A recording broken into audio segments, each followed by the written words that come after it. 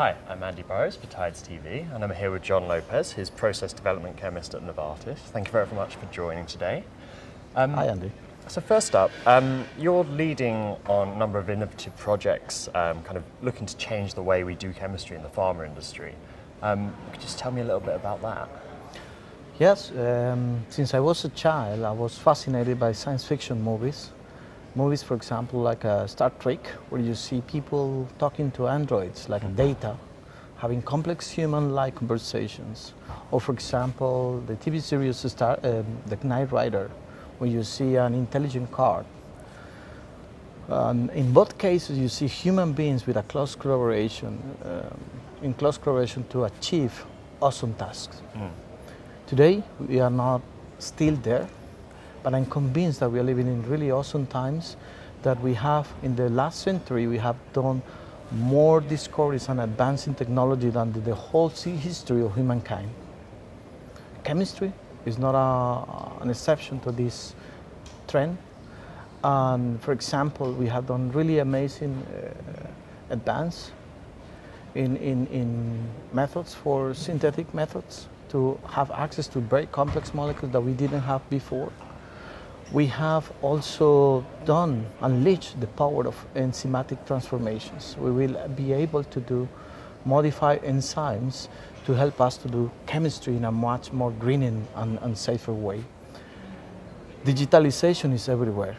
And with digitalization comes uh, automation. We have today access to really, really, let's say, uh, very efficient ways to produce thousands of reactions in the lab to hmm. screen mm. many possibilities. We have also uh, one thing which is coming that is really game changer for me is the use of machine learning and artificial intelligence in chemistry.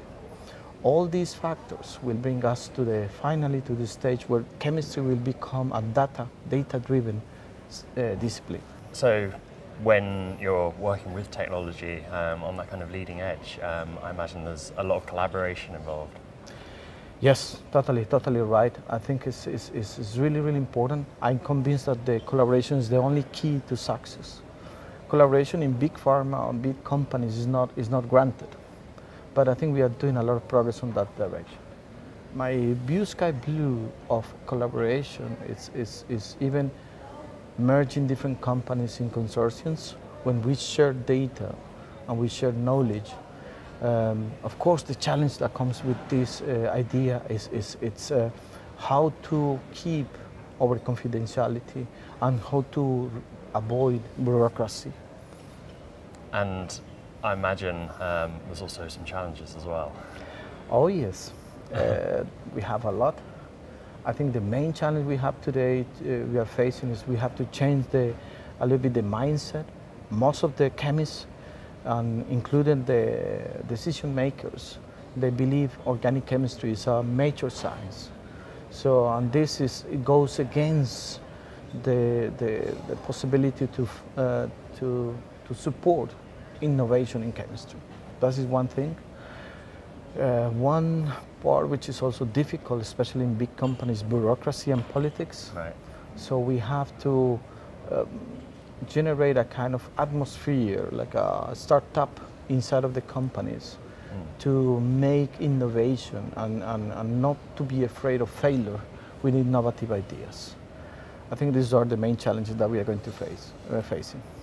And I think um, everyone here today and everyone working in the pharma industry, ultimate aim of kind of making lives better, making, uh, the, making, improving the life of the public and the people. Um, how do you think, uh, what sort of benefits do you see um, in this new way of doing chemistry for society? Yes, I, I think the benefits are amazing. It's, it's, really, really a beautiful future which is waiting for us. I think we are going to be able to discover and to develop, uh, to do process development much faster and efficient than previously. We are going to generate more efficient and safer medicine for patients.